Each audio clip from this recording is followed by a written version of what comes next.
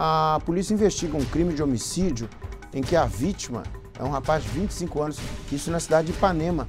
Luiz Fernando Máximo Caetano, esse que aparece aí na imagem, ele estava dormindo em um sofá na calçada de uma casa quando foi esfaqueado. Gente do céu. É, Roberto Tomás. Tá fácil não, viu?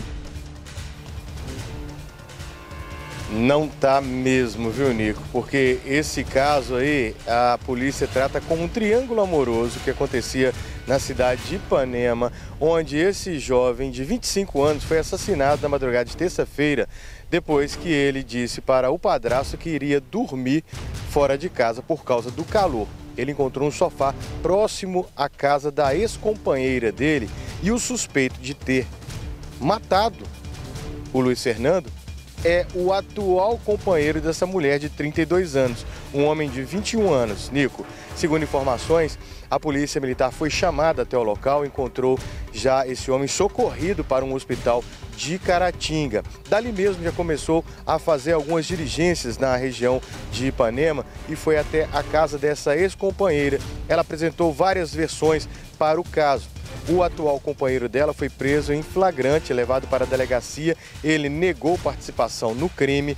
Já a vítima, horas depois de ter deixado a cidade rumo ao hospital de Caratinga, foi informada pela polícia, a família foi informada porque esse homem não resistiu aos ferimentos do Luiz Fernando, de 25 anos, e veio a óbito, portanto, esse autor possível, né, suspeito como a imprensa trata, ele está preso e a mulher pode ter participação no crime por uma correlação a esse homicídio, Nicomedes.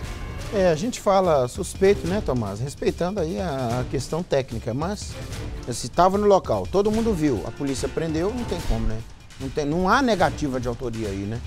Mas a gente trata no crivo da suspeição, porque não é a gente que aponta, né? Quem é acusado, quem é réu, quem é condenado, né? Muito pelo contrário, a gente está aqui para lamentar, noticiar e lamentar. O sujeito está lá no sofá, do lado de fora de uma casa. Então, provavelmente, quem dorme num sofá do lado de fora deve estar tá procurando né, um arzinho fresco, alguma coisa assim, né? É, quem de nós nunca dormiu numa varanda, né?